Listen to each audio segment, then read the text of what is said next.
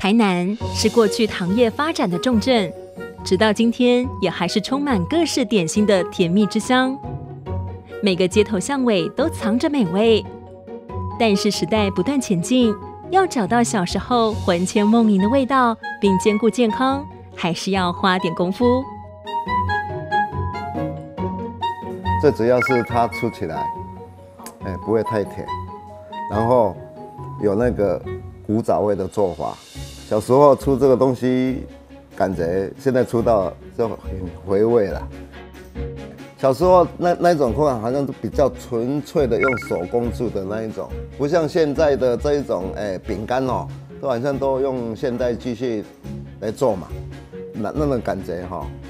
我是认为口感是有差啦。那平常哦，我是认为喝茶配这个绝配，真的好吃。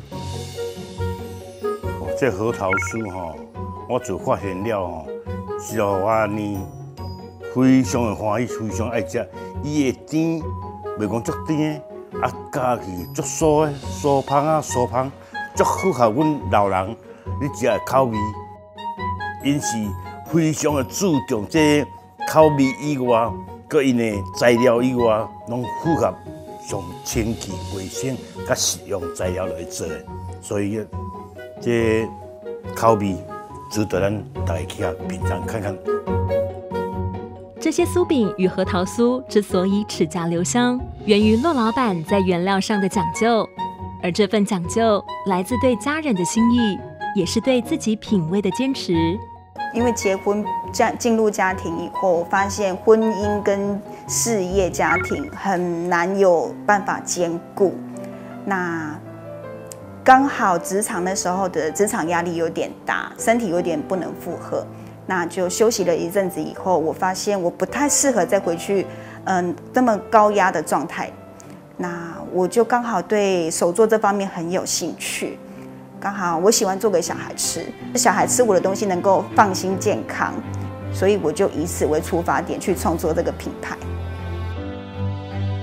我们的用料是用一款叫做。极光的发酵奶油，它特殊的风味，嗯，我觉得它很适合，因为它很清淡，它不会特别的浓郁，奶香味也不会特别的强烈。但是我觉得就是一切就是这么的刚刚好。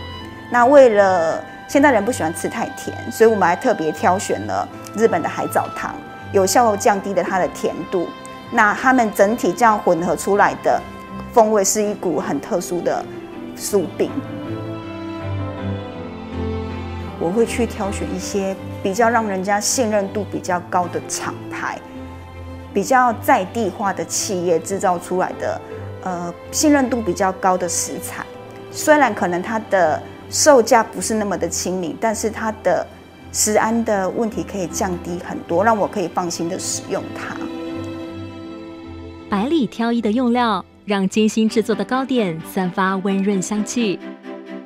从小孩到老人都难逃其魅力，于是，一块酥饼，一壶茶，就是三五好友的快乐时光。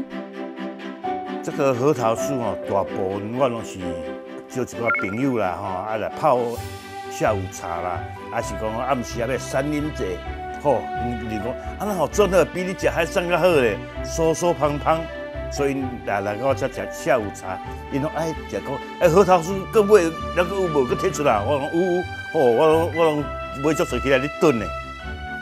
像我我我爸爸啦，他今年九十五岁，他平常不是很喜欢吃甜的，但是我拿这个东西吃哈，他真的哎，他可以接受呢。哎呀，可可见这种东西真的是还是老少咸宜啦。对小朋友吃的很开心，一直吵着跟我说：“妈妈，我还可以拿去分同学吗？”妈妈，我同学今天有二十七个人，像我一样会去追寻我们当初小时候那种味道的顾客其实很多，像很多从对岸嫁过来的，他们就是说：“哎，这个是这个跟我在我们小时候吃的味道也是一样的。”从家人的需求出发。骆老板靠着好手艺，漂亮平衡家庭与事业，符合现代人的传统点心，以密封包装，赏味期更长，也成了过节送礼的好选择。我曾经一天最高出货量一千多，基本上网络上我们有官网可以订购，那各大商城基本上也是可以看到，我们也都有上架。那实体通路的话，我们只在台南部分有实体通路，那希望大家能够来品尝看看。